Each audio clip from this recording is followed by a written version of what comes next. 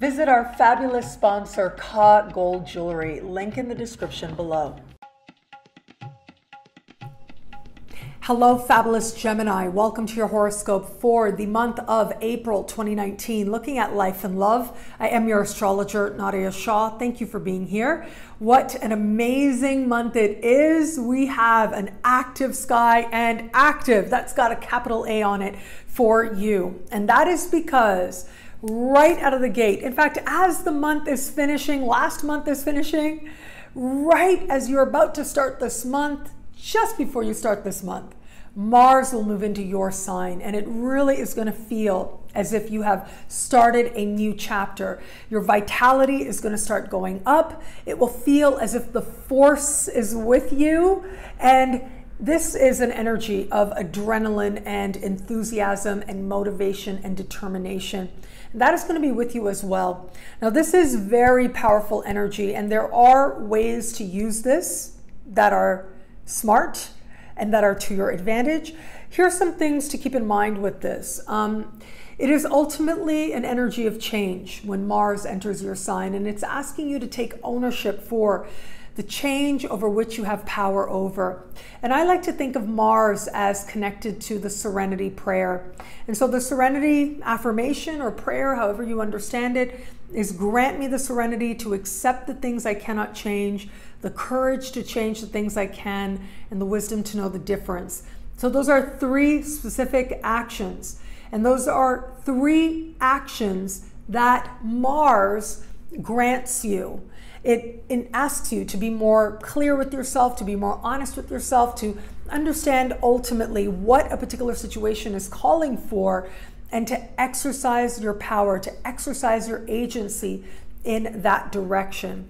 Are you going to exercise your power of acceptance? Are you going to summon your courage? Are you going to cultivate wisdom, actively cultivate wisdom, especially the wisdom that comes from self knowledge and acting from that place? These are the great gifts of Mars, and Mars only enters your sign about once every two years or so. And so when it does, it really does feel as if you are on a fresh pathway and a brand new journey. Whatever your unique journey calls you towards, this is the time to listen. You've got lots of cosmic support for having your actions now go exceedingly well for a few reasons. So, one is, of course, Mars in your sign. The other is right around the 14th of the month, we are going to have a supremely harmonious connection between the Sun and Jupiter. So I'll talk more about this in a little bit when we start talking about love, but this to me is so fortunate for all kinds of reasons. So it really has to do with people at the end of the day. This is an energy where people facilitate big blessings, lucky breaks in your life. But how are you going to address that opportunity? What are you going to do to make the most of it? It is in the early part of the month, right around the 4th, that we will have a new moon that's going to have you asking yourself these particular questions. How can you maximize the potential, the opportunity? Where is it that you can connect with others? What is it that other people are inspiring in you, and how do you feel about it?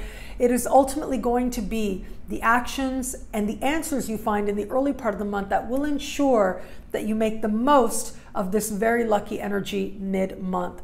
Now, Jupiter will be speaking with this new moon, and that's great. That is that sense of optimism and possibility and feeling that life is on your side. Um, and hope, really, is what Jupiter brings most of all. But we've also got Saturn and Pluto speaking in conversations of tension with that new moon. Now, that new moon is taking place in a part of the sky that has to do with friendships it has to do with groups that you belong to. And this does suggest that it is going to be other people that uh, are about riding a very interesting wave for you. Okay, so on the one hand, some people may be part of helping you to cultivate greater wisdom and, in a practical way, more opportunity in your life.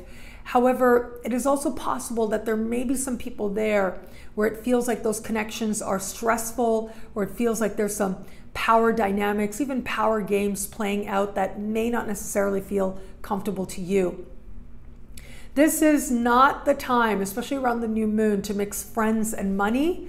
I would strongly advise that, even taking financial advice from a friend, um, it may not be the best time to do that. However, for all of that, we do have here real opportunities for you to get honest with yourself about how it is that you have changed, how it is that you are changing, what it is you know to be true about yourself, and where it is that you are ready to be different in the world, but also with others as well.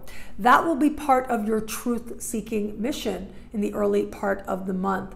Now, by the time we get later into the month with the full moon that takes place right around the 19th, we are also going to have the end of Mercury retrograde season. So it was late last month that Mercury went direct. However, it might not have felt that way right away because of a very active Neptune uh, hanging out with Mercury in the sky.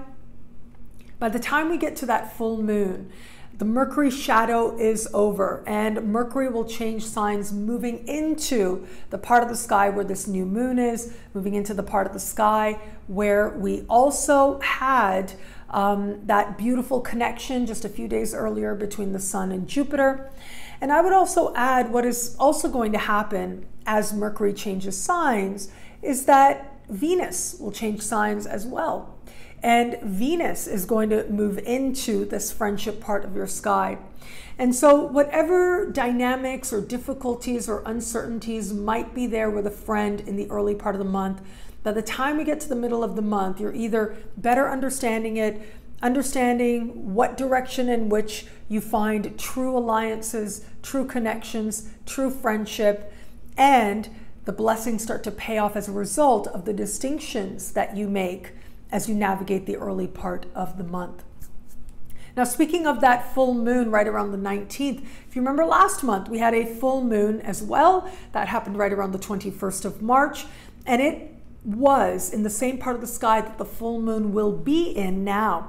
So last month we had a full moon in a part of the sky that had to do with what the heart truly desires in just about every area of life. Now, that includes, of course, romantically, we'll talk about that a little later, um, but it has to do with personally as well.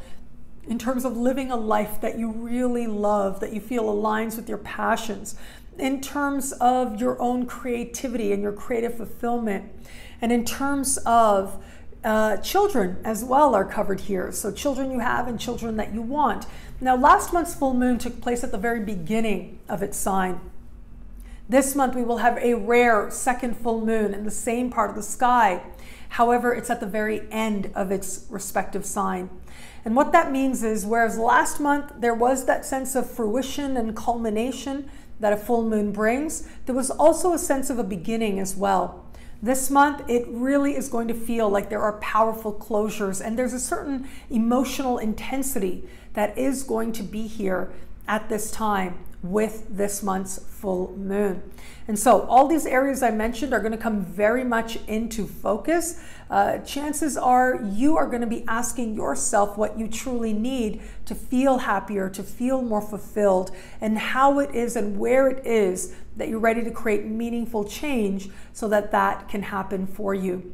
At the same time, though, this may also be a time where you are focusing more on matters of fertility and children and considering where it is and how it is you can be truly effective in that aim to realize whatever your ultimate goals are. If you have children, how you can be the most effective parent. If it has felt as if your child has been uh, ongoing in a particular matter that you've been hoping for a resolution, well, it can be this particular full moon that helps you in that so that you truly feel like your child and you and your child as well are on better footing. If it is children that you want, this is going to be a time where matters related to that come into focus. This is a very fertile full moon, so keep that in mind as well. You can use that energy to your advantage, but if it is not necessarily something that you are uh, thinking about or hoping to align with, then there are other ways you can use this energy. But yes, just know fertility tends to be pretty high when we have a full moon, especially a full moon like this taking place in this part of the sky, having to do with fertility in children. Now let's talk about love because love is an interesting space for you, not only because of this full moon, but also because of the activations of Jupiter in your opposite sign, which tells me that other people, your alliances with others, are going to be key parts of some of the blessings that find you now. These could be business alliances, right? So, just outside of love, consider this energy in terms of the business alliances you have, professional one on one relationships. They can bless your life in all kinds of ways with even bigger opportunities with a sky like this. However, for those of you who are using this energy more in terms of love, or in addition to the ways I mentioned, also in terms of love, if you're open to meeting someone new, it really is going to be the full moon late in the month that is the most powerful energy in that regard. It could feel like there's, you know, some promising developments there mid-month thanks to that connection between the sun and Jupiter, but it ultimately is going to be where it is that you are enjoying yourself that you're able to make the most meaningful connections. But here's the thing in some way, what is happening this month in love around that full moon will hearken to what did happen last month because it was last month, full moon, same part of the sky, flirtatious, romantic moon at that. And so it could be that someone that you met, uh, perhaps they made an impression, perhaps they didn't, but now in some way they pop up again around the full moon this month. Uh, it can also be that this is a time when you are feeling like you want to enjoy your life. There's a desire to connect with others. And that's going to mean that you are uh, a little bit more open, whether it's to flirtation or doing things that allow you to actually uh, have your guard down enough so that love or the possibility of love, the interest of love, can start to take shape. For those of you who are getting to know somebody, this can be a very powerful time if you're getting to know someone because it is really all about truth beyond what it is that you hope for. All that Jupiterian energy is your hopes. However, it is this full moon that is going to bring the truth of what you feel with a certain intensity very much to the surface. And that will either mean that you will be feeling that much more connected to this person or not. Now, the thing to remember also with this full moon is that it is standing across the sky from Uranus with some mathematical precision. Not by sign. It's not what astrologers call an opposition by sign. It's not a true opposition. However, when you look at the what we call an orb, how exact the conversation is, absolutely Uranus is standing across the sky from this full moon. Uh, some of the insight, some of the behavior may feel like a revelation. Um, and it could also be that it feels as if this person is behaving in ways that are a little bit erratic as well. But this is ultimately about helping you to understand how you really feel. Is this something you want to continue? Things can move very quickly with this energy. So either you're going to be like all in, you may be thinking about eloping or something, or it could be that a very shocking or surprising moment makes you go, oh my goodness, let's uh, put on the brakes here for a moment. Regardless, it will reveal some truth, and that truth can change the pace of the two of you going forward. And for those of you who are in an established bond, I feel like the energy this month is so uh, important with Jupiter in particular. As much as that full moon is going to matter, uh, it is fun. It is. Uh, it has a sense of emotional truth to it.